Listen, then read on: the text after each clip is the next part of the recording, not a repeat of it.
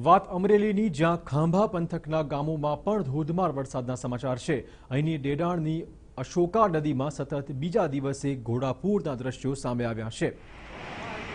તો આ દ્રશ્યો છે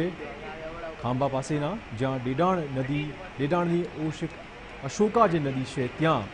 ઘોડાપૂરની પરિસ્થિતિ છે લોકો આ પૂર જોવા ઉમટ્યા છે જોકે એલર્ટ રહેવાની પણ એટલી જરૂરિયાત